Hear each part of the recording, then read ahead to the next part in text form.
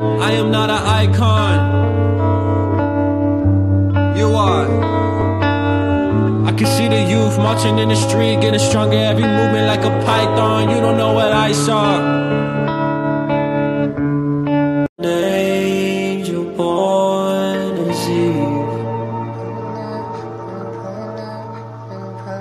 formed into flesh and promised him her. Young Thug is in jail this morning. Atlanta rapper Young Thug in new legal trouble tonight. This warrant directs any officer coming across Young Thug to arrest him so he can appear in DeKalb County Superior Court.